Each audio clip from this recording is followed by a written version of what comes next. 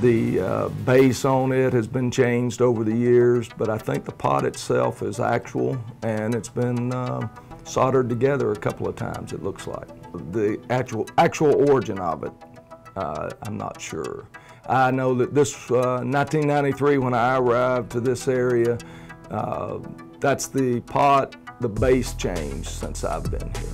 I would tell Coach all of this too, but when we got it back finally uh, in 2015, after I think, uh, I can't remember how many years it had been, it was a little tarnished. So uh, Miss Ruby, who's our, our secretary in the main office, she, she's been here forever. She, that Monday morning, she had the, the polish out. We got that thing polished back up and uh, we, we said they took it for granted a little bit.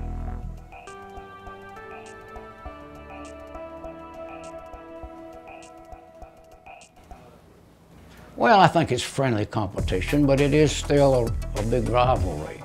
Coffee County is the rival, and some of the previous coaches that have coached here, uh, one in particular, even refused to go even drive through Manchester. It's always that way. It's just something about it. Doesn't matter if uh, on paper they're better or we were better. It was always a close game. It didn't matter. It always come down to a play or two. It's always that way. You, I didn't understand the the heated rivalry.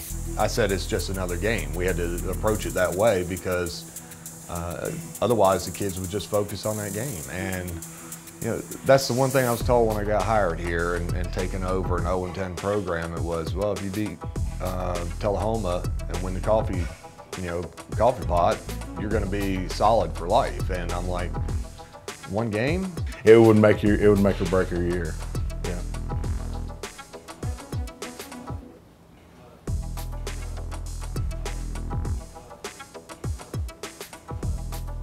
Yeah. I think so. I think it's something that you're you're raised of going to the coffee pot game. Uh, you see it when you're a kid.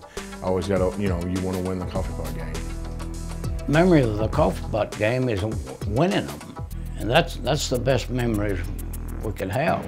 I got a three-year-old son and a one-year-old daughter. It's something I can't wait to be able to tell them, show them game film, and uh, tell them I got to play in it, and hopefully they will too.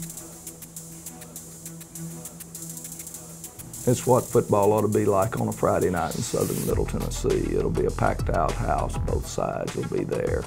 It's always been a rivalry, as far as I can remember back, and uh, I guess it always will be.